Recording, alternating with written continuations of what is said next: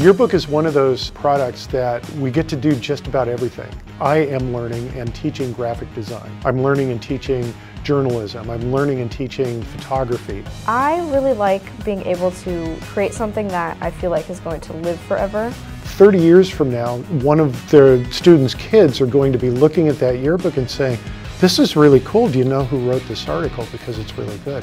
I get a chance to work with teenagers that come into the program from middle school with a little bit of knowledge and a whole lot of desire and then work with them through the program until they're seniors and they're the editors and they're the ones that are running the program. It's a great opportunity to learn some management skills, some self-discipline almost. It's just fun. There's so many things going on all the time.